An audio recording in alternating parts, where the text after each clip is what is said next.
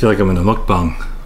All right, well, hey, my name is Jaeson Han, and I'm here to test out these different chili oils, um, crispy chili oils, to be exact.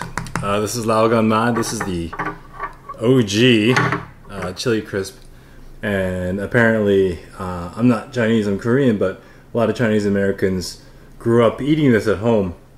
So I think this is kind of the standard that we'll base everything off of, and then we'll kind of go from there. Um, these are Japanese, um, Chinese. This is uh, from uh, Sichuan, China as well, um, but uh, made to be very, I guess, hipsterish. Then we have Momofuku's uh, chili chili crunch. So um, I'm not too sure how much David Chang had involvement with this, but we'll talk about that. And we have another one, which is uh, Chef Chef Troy's recipe, and we'll go into uh, the differences here.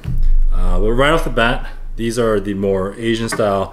These have MSG included in them, and I know what you guys are thinking, like, well, MSG, I don't want that in my body. But if you think about it, if you eat Cheez-Its, they have MSG in it. If you have Doritos, they have MSG in it. Um, but surprisingly, this Shin Ramyun doesn't have MSG in it. And I, I think a lot of the times uh, Asian food gets a bad reputation because of the MSG, but um, they're more careful about it. They don't use it. Uh, they tend to use alternatives. So these three over here, they use, um, I guess, soy and seaweed and other things that provide the umami uh, without the MSG. So we'll see how this goes. Um, I've been trying them for a little bit, but today what I'm going to do is I'm going to put a little bit of rice in a dish and then I'll, I'll top it and I'll have a little bit of a bite. And so hopefully you guys can hear and uh, see what I think about each of these. So why don't we get started then? Yeah. We have three bites here, and that's the Lao Gan Ma. This is the S&B, and this is the. I'm not even too sure what this is called. And we'll have each here. So this one,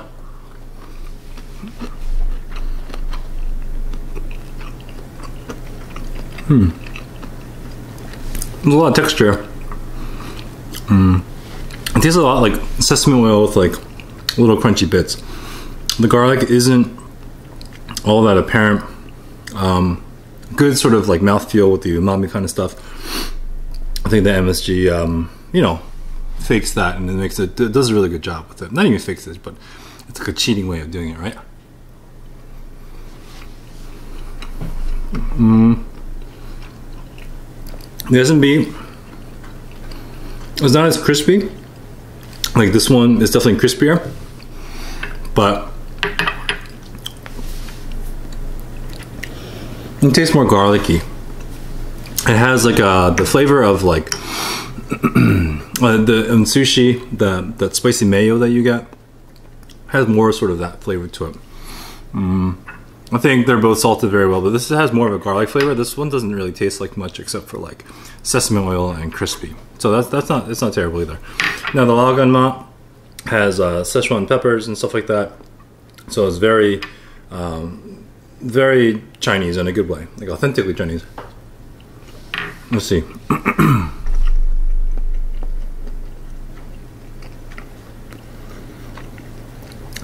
So that has the Szechuan peppercorn, which gives a little bit of like a mouth numbing sort of effect. There's heat in the back. This one doesn't really hold back with flavor. Um, so out of these three, I feel like this one tastes the best. This one has the best texture. This is the most authentic. Um, if I had to choose one between these three, the MSG variants, um, I don't know. I'd probably, they're all different, but for texture, for flavor and for authenticity. I mean, I, I guess I, I, can live with all three. But I'd probably pick this one just to have, um, just because I feel like it, it, does everything well and balanced. So, the S&B, um, they're known for their curry. Um, growing up, if you ever had Japanese curry, this is the, probably one of the brands that you get. I think it does a really good job with it. So, let's go on to the next three. Let me clean up a little bit and we'll see. So, Continuing on, we'll do Fly by Jing. which in my mind is more along the lines of Lao Gan Ma, but it's more of everything. Um, there's big uh, chunks of soybean. Like you kind of you can kind of see them. They're almost like like little like berries of sorts, like little caper berries almost. Um, there's a Szechuan peppercorn and everything. And it's a it's a new guy. You can't find this in the store. I had to buy this online. And so I don't know if you can see that there. Pretty good. The Momofuku Chili Crunch is uh, kind of what got me started on this. We got this as a gift for Christmas. Thank you, P. Tom. And let's see. That's a lot. Oh well, I'm here to taste it, right? And then we have this last one here, which is the Chef Troy's, um, which at H Mart when I bought it, there was very few of these left. There was room for a lot of them, but there's only like maybe um, a few left. But you could tell there were a lot there. So I feel like this is a very popular choice as well. And there's a lot of crunch there. So we'll go with the Fly by Jing just because I had the OG right before it, so it'll be easier for me to compare. So let's see how this goes. There's a lot of crunch there, and this doesn't have MSG.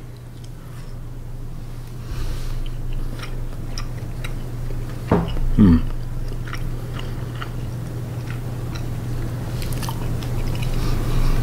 I feel like there's more of everything compared to this.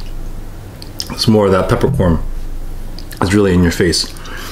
Um,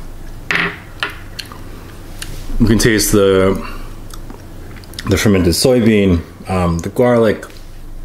Uh, it's, it's, well seasoned. It's it's good. It enhances the rice, um, and it's very authentic. So it's more along the lines. So these two, I would say they're in the same sort of category, but I prefer this one um, for sure over the Lao Gan Ma. Like, this is just more subtle and it's good.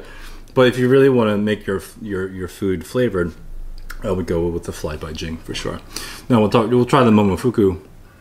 I kind of put on a lot, unfortunately, um, but we'll see how this goes.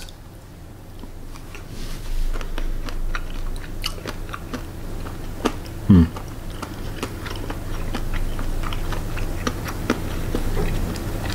So definitely a lot of crunch going on. I feel like it's um, more minced garlic. That's pretty spicy on the back end. But it lacks the authentic sort of peppercorn, Szechuan peppercorn that's going on here with these two. So this one is more like fancy. It has these different chilies I've never heard of. It uses mushroom powder and some seaweed and some yeast extract um, to make it uh, umami flavored, umami filled, that is. So, mm, and it's sweet. But this one, I remember initially didn't have much flavor to it.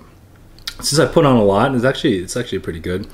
It's um, a little sweeter than I remember. Um, and this is also a little harder to find. I think you have to order it from their website. And then we'll try the last one here, Chef Troy's recipe. Let's see how this goes.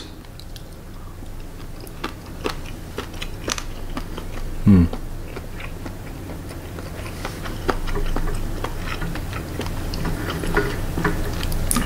I like this one a lot. They're similar. This is more of a simple, um, tastes more like sesame oil, sweeter, it's crunchy. It's a cleaner sort of flavor. I think it's the cleanest flavor amongst all of them. So I think it's the simplest uh, list of ingredients here. Um, it's garlic, sesame oil, onion, sugar, um, some yeast extract, some paprika.